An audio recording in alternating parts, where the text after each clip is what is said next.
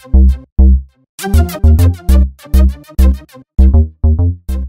we're showing how we can assist storage facilities, hospitals, and other mass transit areas of security protection for their facilities. So by putting perimeter control with radiation detection, it allows us to keep our staff, our doctors, the hospital, the equipment, the patients safe. So we can isolate the ones with radiation detection and then assist them in a different methodology than we would with just an injured individual. And so you do that in addition to securing the sources in the facility? That's correct. Understand what the isotope is and what the, the strength of that isotope is when it's, it's decaying.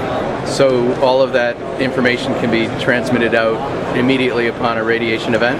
Right. What other kinds of communications does the system enable? Well, with that, we can also do email, SMS text message to your cell phone, they can also on their PDAs see the actual camera live. What's really nice about this is depending on your business rules and the severity of the radioactive isotope, you may only just alert security. It may be at a higher level where you want the local police and hazmat. It may be at an exceptionally high level. We also have a lot of modules that can plug into ONSSI. So for instance, we've got our friends from BriefCam over here that I'll tell you about in just a second. Or uh, Keith from Defentect, okay, that's a radiation detection system. Uh, a plug-in or an, a partner of ours here in the booth today.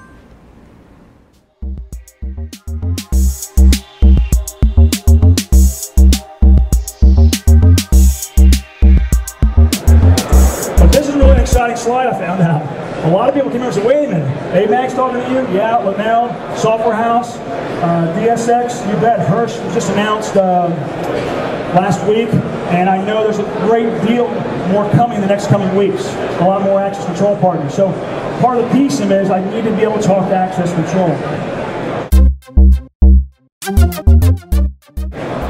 Not until I take my finger and put it on that PTZ camera, I'm actually going to control that PTZ camera in what we call a virtual joystick and go to a preset position automatically or with a single click, boom, I'm at a preset position.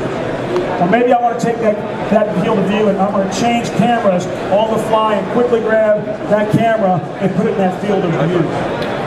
So from our live perspective of the client, it's real simple, real easy, very straightforward to, to operate. We can, we can show people this client, they can learn it in literally minutes. But the live viewing of video can even be more enhanced in the fact that I can go in here and do digital zoom very quickly and very easily of instant playback of what just transpired on that camera right from the screen I'm viewing. Again, doesn't matter what camera it is, I was showing a flash presentation right inside my application, right inside of our client. And why would I want to do that? I've got an operator, I've got a duty officer on duty at 2 o'clock in the morning, I've got an incident somewhere. Boom, let's put a flash presentation right inside of his client so we can show him instructions, numbers, people to call, protocol, things down the. What that was people don't view video live, they play video back. And I'm going back through my video very quickly, very easily. Let's stop it, and maybe I want to use something a little more simple like a kind of an iPhone clock there. Go back to 7 o'clock, 8 o'clock. Uh, let's go back to 10.01. Let's go back to 10 o'clock yesterday. Let's go back to 10 o'clock the day before, or the day before. Well, Captain Eve, if you've got a camera somewhere in an intersection, somewhere in your environment, and you've got this much video you see, Captain Eve, but you have only that much time to view it. That's what you're looking at here. That's a camera in Stuttgart, Germany, at an airport, and you think, wow, that just had a crash, just had a crash. No. All those events happen at separate times, but I'm able to view them in a very compressed time frame. The button says go get bookmarks, and there's bookmarks. Label, duration, time, case number, classification, all there in front of us. If I want to, if I want to look at that bookmark, I have, I have a, a mouse over that lets me do that. I can put on the screen. I can go back and search bookmarks by cases, and if that's not a bookmark we want to keep, we can delete it. Okay? Can I print a report? Yes. Can I create individual frames? You betcha. How about a database format for the uh, U.S. Attorney? No problem. Well, I've been here. We've seen some numbers scrolling around the top of the screen there. So what's that? Ocularis enables you to be able to monitor alerts from multiple systems. Gate controls, access control, motion detection, analytics, whatever the case may be. Uh, right now it's 23, I'm to go to 24 because of an audio event that I just created off of that camera. So when I actually open that up, that button up there, there's all the list of alarms. There's my event called clap on, clap off right there in front of me. What's more, there's the live view. But what's even crazier is, where did that happen? I touched the icon of the map. It actually happened right there on that camera. Whoop, come back here. So on that camera is where that event transpired. Now that I've discovered it, I've done my investigation, let's acknowledge those events, type in my notes. I can make a case number on the fly or select a case number, and then I can actually submit that event for future use, for future investigation. We're also excited with Ocularis now that our handheld clients, where are you, brother. Our friends from Movideos are here. They, they have now enabled us to take uh, Ocularis beyond the Microsoft mobile platform and now on the Blackberries and the iPhones. Me show the video wall and we'll be done. If I go to my maps of Anaheim, I'll go to Anaheim overview. Very large map of Anaheim, and I'm going to hit that link right there, which is going to take me to a more detailed map. And I can navigate backwards, navigate forwards. Let's go to the stadium.